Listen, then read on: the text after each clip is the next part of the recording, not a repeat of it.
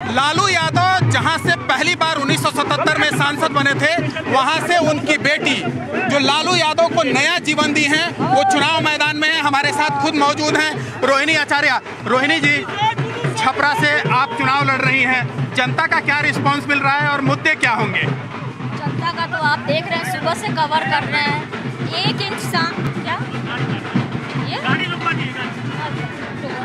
जनता को तो आप सुबह से रिस्पांस देख रहे हैं। मतलब एक इंच रोड पे बचा नहीं है कि खाली मिले आपको। जगह जगह।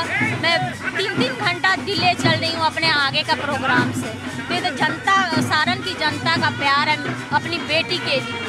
जो गले लगाई है अपनी इस बेटी को, जिसके लिए विरोधी भी अपने भगवान से लड़ाई करने के भगवान आपने मुझे रोहिणी जैसी बेटी क्यों नहीं दिया? यहाँ तक कि सबने बोला कि बेटी हो तो रोहिणी जैसी हो। तो वो जनता सारण की जनता माँ बहन जितने भी मेरे अभिभावक हैं बुज़ुर्ग हैं सब कोई का आशीर्वाद है प्यार है जो मुझे मिल रहा है। आप यहाँ से चुनाव लड़ रही हैं दूसरी तरफ़ 400 पार की बात की जा रही है। आपके विरोध में यहाँ से जो सांसद है राजीव प्रताप रूढ़ी वो चुनाव मैदान में है। रहने दीजिए ना अब 400 पार या चार चार सीट ला दे वही बहुत बड़ी बात है। ये तो जनता ना डिसाइड करेगी आप और हम और चाहे वो बोलने वाले कौन होते हैं। मुझे अपने सारण की जनता पे पूरा भरोसा है कि ये इस बार अपनी सारण की बेटी बहन को भारी मतों से अपना आशीर्वाद देंगे। मैं यहाँ पे सिर्फ़ आशीर्वाद सबका लेने आई हूँ। तो मुझे पूरा विश्वास है कि अब सारण की जनता अपनी इस बेटी को गले लगा रही है और आशीर्वाद देगी। और मेरे सारे आपने अपने पिता को किडनी दिया है। क्या आपको रिटर्न गिफ्ट छपरा से मिलेगा सारण से मिलेगा? रिटर्न गिफ्ट ना, क्या चीज़ का रिटर्न गिफ्ट रिटर्न गिफ्ट कोई अपने पिता पुत्री से माँगता है?